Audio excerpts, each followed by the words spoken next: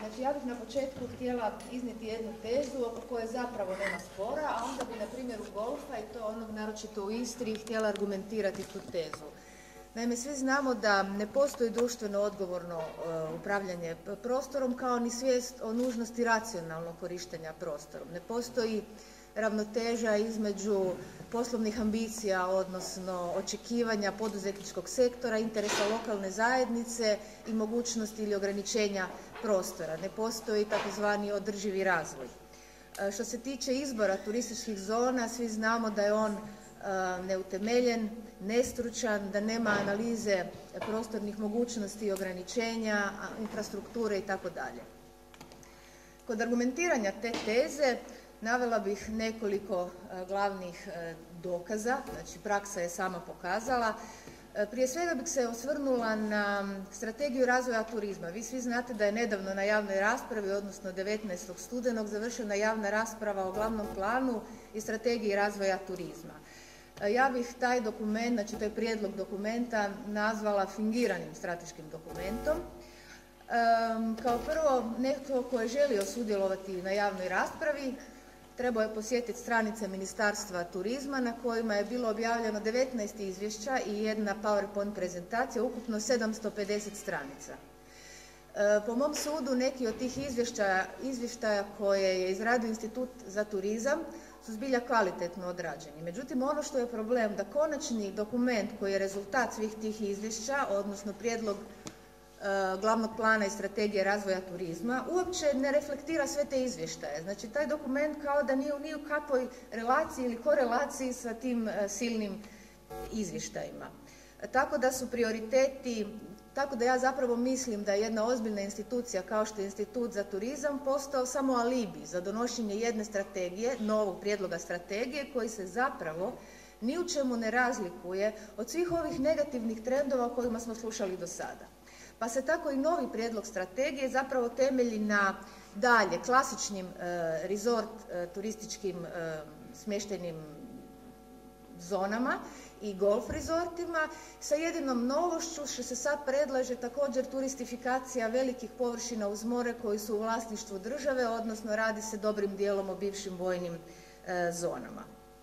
Tako se i u novom tako se u dokumentu, u jednom od tih 13 izvještaja koji se zove investicijski projekti ključni za implementaciju vizije turizma u Hrvatskoj, navodi da se u periodu od 2011. do 2020. u Hrvatskoj mora izgraditi 25 do 35 e, golf igralištima, pod golf igrališta kao glavni preduvjet za realizaciju tih recimo 30 golf igrališta navodi se da se mora promijeniti loš imidž koji ima golf u dijelu domaće javnosti, a ne naravno, a ne na primjer da se zabrani izgradnja golf igrališta na recimo ekološki osjetljivim područjima. Ne, glavno je promijeniti imidž i tako se u tom novom e, planu, odnosno strategiji razvoja turizma i dalje planira 14 e, ključnih investicija u golf terene i to u Istri i Sjevernom Jadranu, osam na južnom Jadranu, među njima je i vaš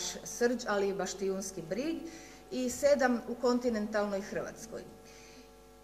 Bilo je potrebno dvije do tri godine žestoke kampanje protiv zakona o igralištima za golf da se taj zakon konačno 2011. godine ukine. I sad kako više nema tog povlaštenog položaja investitora u golf u odnosu na ostale investitore, Ministarstvo turizma se dosjetilo novim metodama poticanja investicija u golf i e, te su, ti su poticaji fiskalne i financijske prirode. Ovo ću vam sada pročitati, ovo je citat iz tog, e, iz tog glavnog plana i strategije. Znači, financijski poticaj radi se kako znači poticati investicije u golf.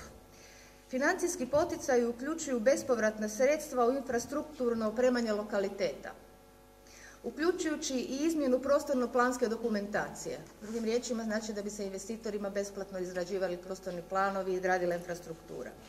S druge strane, fiskalni poticaj odnose se na djelomično ili potpuno oslobađanje plaćanja nekih komunalnih naknada, kao i djelomično ili potpuno oslobađanje koncesijske naknade za javna golf igrališta bez smještajnih objekata. Fiskalni poticaj uključuju oslobađanje od obveze plaćanja poreza na dobit sukladno odrednicama izmijenjenog i dopunjenog zakona o poticanju ulaganja.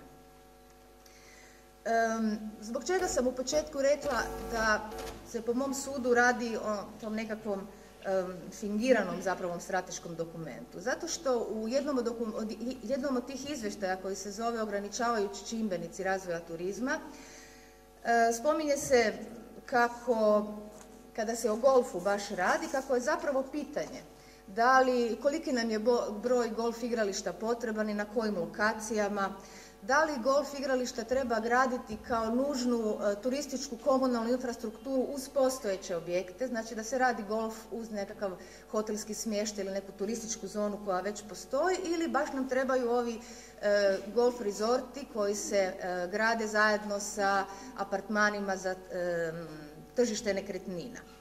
Znači da li golf, oni se također u tom izvještaju pitaju, da li je golf treba graditi na pejzažno, vizualno najatraktivnijim lokacijama ili ga možda graditi na nekakvim manje atraktivnim lokacijama ili čak ekološki degradiranim pa bi ga onda golf oplemenio. U tom izvještaju nema odgovora, oni se samo postavljaju pitanje da bi o tome trebalo odlučiti. Međutim, bez obzira na to, u, e, u glavnom prijedlogu strategije zapravo stoji da nam je potrebno 30 golf igrališta na precizno utvrđenim lokacijama, to su one uvijek iste. Da bi vam sad nabrala, to su one koje već odavno znamo i koje su u prostorne planove uvrštene bez ikakvih kriterija. Evo ja ću vam uzeti primjer golfa u Istarskoj županiji. U prostornom planu Istarske županije ucrtana su 23 golf igrališta i to ne na temelju bilo kakvih kriterija nego prema uglavnom željama investitora. Znači već se znalo ko je za koje područje zainteresiran, radi se uvijek o krajobrazno najatraktivnijim lokacijama, 13 od njih se nalazi u zaštićenom obalnom pojasu. Zatim, ovaj, što se tiče tog dokumenta, znači prijedlog e, strategije razvoja turizma, ono na što smo upozorili Ministarstvo turizma i zapravo ga prijavili Ministarstvu zaštite okolišta je što bi se za ovakve dokumente trebala raditi strateška procjena utjecaja na okoliš. Strateška procjena utjecaja na okoliš je zakonom obavezna u Hrvatskoj od 2008. godine. Ona se radi za planove, strategije i programe na području turizma.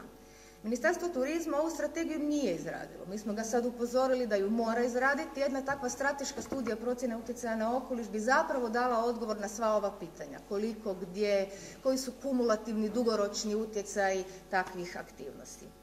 Zatim moram ispričati jedan zapravo komični dio ovog izvješća. U dokumentu pod nazivom e, ograničavajući čimbenici razvoja turizma uopće se ne spominje utjecaj na prirodu, okoliš ili na krajobraz. To ne postoji niti kao naslov poglavlja.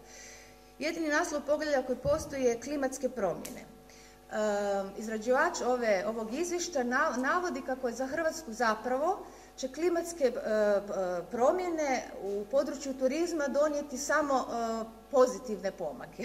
Sad ću vam pročitati, jako je komično. Evo, treba spomenuti činjenicu da ima dosta nestručnih tumačenja koji neke uobičajene vremenske pojave kao što su kiše u ljetnom periodu ili snažnije udare bure povezuju s globalnim klimatskim promjenama, iako se zapravo radi o normalnim promjenama vremena koje nisu posljedica djelovanja čovjeka. Konačno, Valja naglasiti da bi neke klimatske promjene mogle imati čak i pozitivne posljedice na hrvatski turizam. Tu se misli primarno na povećanje temperature mora u ljetnom periodu koje bi moglo utjecati na produljenje turističke sezone i veću atraktivnost primorskih kupališnih destinacija, posebno u generalno hladnijoj makroregiji sjevernog Jadrana. Na Afričkom sredozemlju i Crvenom moru potvrđuje da ekstremno visoke temperature ljeti pa ni opasnosti pretjeranog izlaganja suncu zbog ozonskih rupa nisu dovele do do smanjenja opsega kupališnog turizma našim prostorima. da, zapravo je nevjerojatno, hvala. Evo, znači, e, drugi argument u, u, prilog one prve teze o načinu upravljanja prostorom su, o tome su svi moji prethodnici govorili, fingirani postupci procjene utjecaja na okoliš, i zatim nakon provedenih postupaka donose se rješenja o prihvatljivosti e, zahvata, utjecaja zahvata za okoliš koja vrlo često donose mjere zaštite okoliša koje su formalne, neprovedive, a nakon toga ih niko ne prati i ne provjerava. Znači donesu se neke mjere, ali ne zna se ko bi ih trebao provjeravati i one se u biti ne provjeravaju i ne prate. Tako da, evo, primjer opet Istarske županije. U Istri je do danas izdano devet rješenja o prihvatljivosti zahvata za okoliš za devet golf igrališta. To znači da je provedeno devet postupaka procjene utjecaja na okoliš i da je Ministarstvo zaštite okoliša smatralo da su oni prihvatljivi za okoliš.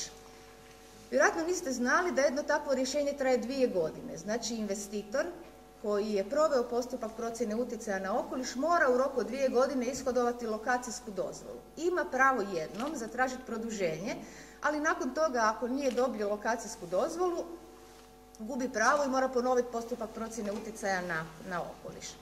Ja ću vam dati neke primjere kako izgledaju rješenja o prihvatljivosti zahvata za okoliš na nekim recentnim rješenjima koja su izdana u Istri, a najrecentnija su ona za San Marko, e, Golf San Marko Korovinja iz veljače 2010. pa Fratarska šuma koja je izdana u srpnju 2009. i zatim za igralište Brkač kod Motovuna iz listopada 2011. Mi smo se naime, mi smo naime 2009. godine podnijeli e, tužbu u Upravnom sudu, dobili spor pa je ministarstvo sad nedavno moralo izdati novo rješenje. Sva ostala rješenja u Istri su starija od toga.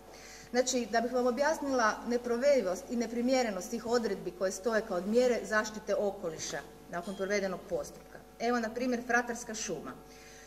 Kod mjera zaštite flore piše očuvati ili konzervirati svaku formalnu prirodnu datost koja povećava vizualne kvalitete krajobraza. Ko će to provjeravati? Kako će neko osporiti da to jesu ili nisu učinili? Mjere zaštite faune. Osigurati zaštitu zaštićenih životinskih svojsti prema posebnim propisima. Kao da nismo znali. Zatim mjere zaštite voda koristiti gnojiva s produženim djelovanjem, odnosno ona kod kojih se otapa količina gnojiva potrebna biljci. pa sad neko ide to neko provjeravati. Mjere zaštite krajobraza. Novo planirani objekti ne smiju se naglašavati visinom i masom, već trebaju biti uklopljeni u zelenilo. Mjere zaštite zraka, koristiti najnoviju mehanizaciju koja je prošla test na dopuštene količine emisija. Znači, ko to provjerava? Nitko. Zatim ima ovaj zanimljivi slučaj koji bi mogao biti zanimljiv i vama zbog izrade prostorno-planske dokumentacije. znači imamo golf igralište San Marko u Rovinju, rješenje je od 9. veljače 2002. godine. Tim rješenjem nije predviđeno da se golf igralište može priključiti na vodoopskrbni sustav u Istarskoj županiji, nego da mogu samo pročišćavati otpadne vode i crpiti vlastite vode iz podzemlja. Međutim, 2007. godine, znači postupak još uvijek nije bio dovršen. investitor u to golf igralište traži od Istarskog vodovoda uvjete za priključenje na vodovodnu mrežu i on ih dobiva. Znači Istarski vodovod dostavlja uvjete za priključenje investitoru koji još uvijek nema proveden postupak procjene utjecaja na okoliš, a vi znate da građevinska dozvola, od lokacija pa onda građevinska, se može istati isključivo na temelju rješenja o prihvatljivosti zahvata za prirodu. Dakle, jednostavno institucije nisu u dogovoru među sobom, nitko ne zna tko što radi. Zatim, zanimljivo je da je ovaj postupak, znači za golf igralište San Marko u Rovinju, e, prekinut 2008. godine i to iz ovog razloga, opet citiram, dok se ne donese odgovarajući urbanistički plan uređenja. Znači, to je povjerenstvo u postupku procjene utjecaja na okoliša smatralo da nema e, urbanističkog plana uređenja za to područje i da se zato ne može provesti postupak procjene utjecaja na okoliš. Što je sasvim suprotno od nekoliko postupaka koji su se vodili u isto vrijeme u Istri. Recimo, za golf Vrnjak, to vam je kod e, Grožnjana, E, tamo se navodi pod općim mjerama zaštite nužnost izrade prostornog plana uređenja općine Grožnjan. Znači oni su dopustili, dali su rješenje pozitivno o, tom zahvatu, a da uopće nije bilo prostornog plana općine i e, detaljnog plana uređenja naselja Vrnjaka. Znači u isto vrijeme se radi, znači dva povjerenstva odlučuju sasvim drugačije. Isto tako se za golf igralište Brkač kod Motovuna navodilo da će se tek urbanističkim planom uređenja, kojeg dakle nema, utvrditi obaveza provedbe natječaja za oblikovanje prostora i tako dalje.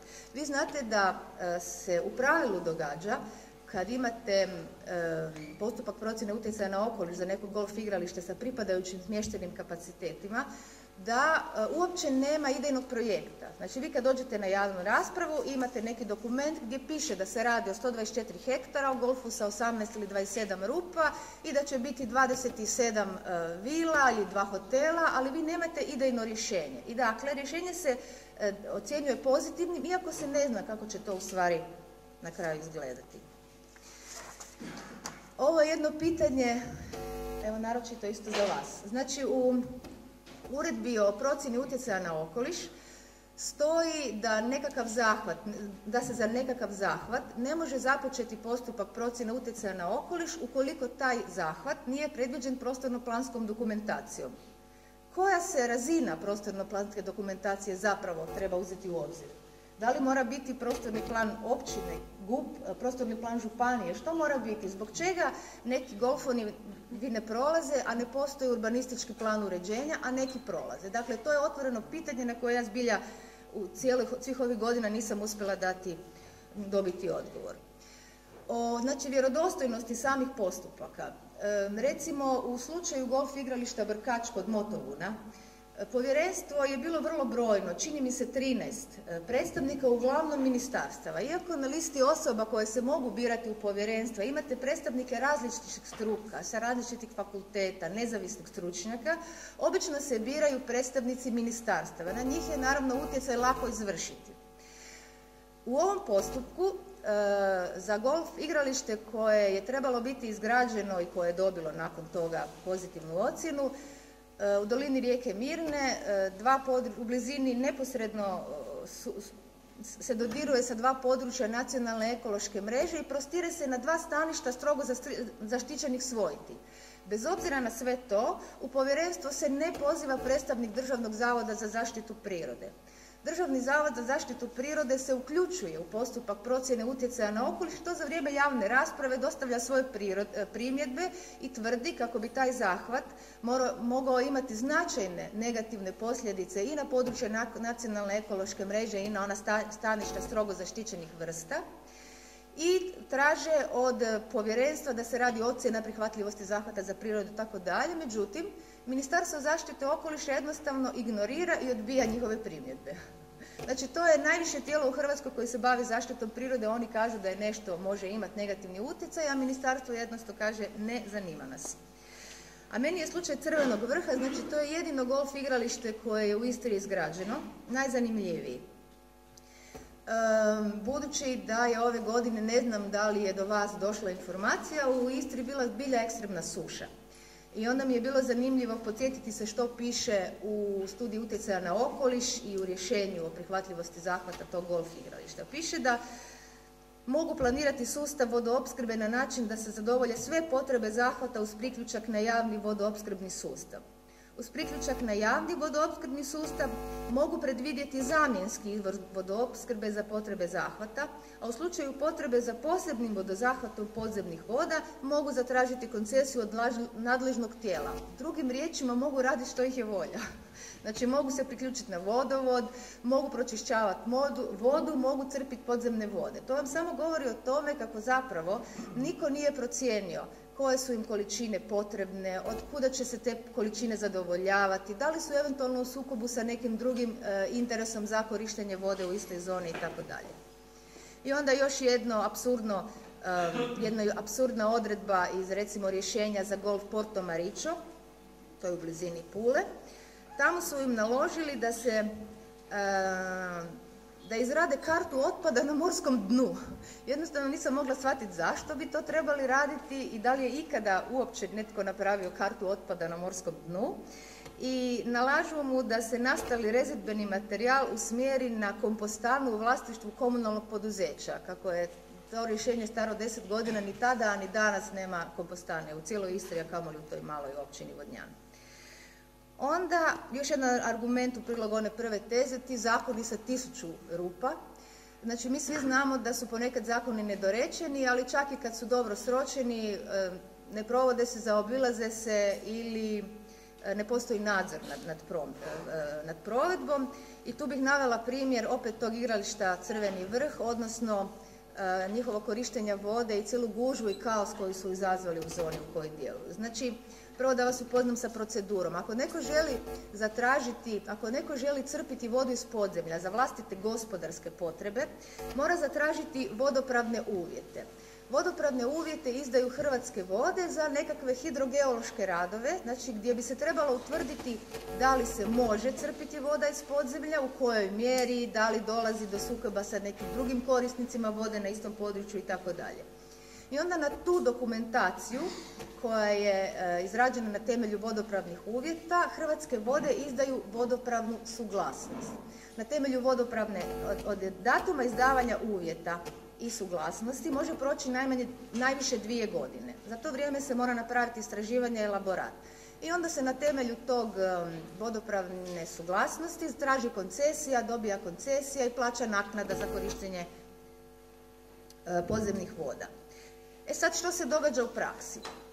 Događa se u praksi da neka tvrtka zatraži e, vodopravne uvjete i onda pod krinkom, pod maskom istraživanja i hidrogeoloških radova nastavi crpiti vodu u nedogled. Niko ne provjerava imaju li oni vodopravnu suglasnost, a imaju li koncesiju. To se dogodilo sa golfom Crveni vrh. Dakle, ovog ljeta ekstremna suša u Istarskoj županiji župan e, proglašava elementarnu nepogodu, ministar poljoprivrede objavljuje odluku o prvenstvu korištenja vode. Znači vode nema za sve i onda je ministar donio odluku koja je pravo prvenstva. Na temelju te odluke županija zabranjuje korištenje vode za potrebe poljoprivredne kako bi bilo za turizam. Evo to je recimo jedna dvojbena odluka koja je donesena ad hoc bez e, nekakve analize, odnosno još uvijek ne znam na temelju kojih pokazatelja su oni rekli da je vrijednije da se turisti kupaju nego da se zaljevaju poljoprivredne površine, ali to je sad jedna druga priča. I dakle, golf Crveni vrh koji već ima neke bušotine, kako mu se potpuno osušio teren i prijeti mu propast, buši još jednu dodatnu rupu, postavlja snažnije crpke, znači nije im ona voda koju su, znači zatvorena im je slavina, morali su, ona voda koju su imali iz nekoliko drugih bušotina nije im dovoljna, zapikavaju opet pumpu, postavljaju snažniju pumpu i što se događa? Da jedan izvor, zove se Val Fontana, koju od uvijek, kaže, kaže se stotinama godina, lokalno stanovništvo koristi za potrebe navodnjavanja i za stočarstvo, u roku od nekoliko dana presušuje. I događa se da onda seljaci dolaze s traktorima i vilama i prosvjeduju. Onda tek dolazi vodopravna inspektorica koja utvrđuje da ta tvrtka Skipper DOO uopće nema niti vodopravne uvjete. Oni traže, znači sve se to događa u kolovozu kada je suša bila najžešća. Oni 31. kolovoza traže od Hrvatskih voda vodopravne uvjete i nakon toga ih dobivaju za pet dana, 5.9. dobivaju vodopravne uvjete. Sad oni imaju dvije godine da opet rade istražne radove, kako, mislim, živa komedija kad na upit Hrvatskim vodama da li su ikad imali koncesiju na korištenje podzemnih voda, naravno da, da nisu imali, jer nisu ni mogli, nisu imali svu potrebnu dokumentaciju. Mm, onda bi se osvrnula, imam još vremena ili da tu stavim? Još malo. voda. Kako ste prije vidjeli da Znači voda je u Istri, znači pokazalo se da je to zapravo postao glavni problem e, održivosti nekakvih golf igrališta. dobili smo podatak od e, istarskih vodovoda da golf Crveni vrh koristi e, godišnje 500 tisuća kubika vode iz vodovoda. Nemamo podatak o tome koliko oni koriste iz podzemnih izvora jer to nikad niko nije pratio. Ako se to podijeli sa 75 hektara koliko ima igralište, to znači da je 6666 kubika po jednom hektaru. To odgovara nekakvim najkonzervativnijim procjenama. Znači, te najkonzervativnije procjene govore da jedno golf igralište po hektaru godišnje troši od 6 do 7 e, tisuća kubika, procjena izvještaja Europske agencije za zaštitu okoliša iz 2009. tu procjenu podiže na čak 10.000 kubika po...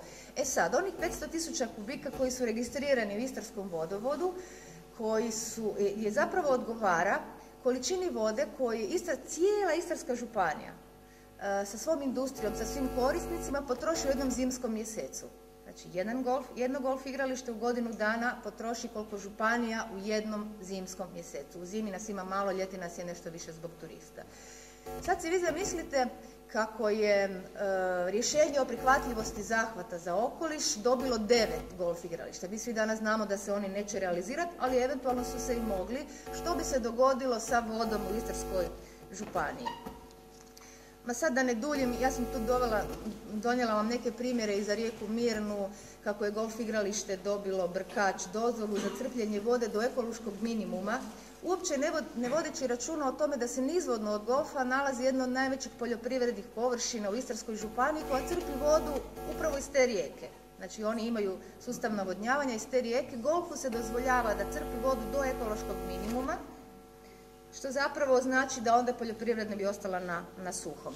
I još samo jedna stvar u vezi sa onim klimatskim promjenama koje će pogodovati našem turizmu. Znači sva klimatološka predviđanja, istraživanja i svi modeli predviđaju da će u sljedećih 20 do 30 godina zbog klimatskih promjena i povećanja temperature zapravo ovaj naš blagi Mediteran iz tog umjerenog pojasa prijeći u subtropski zbog toga što će se ekstremne, i kao posljedica će biti ekstremne suše koje više neće biti ovakva pojava koja se dogodila u Istri nekakva rijetkost, nego će to biti učestala pojava.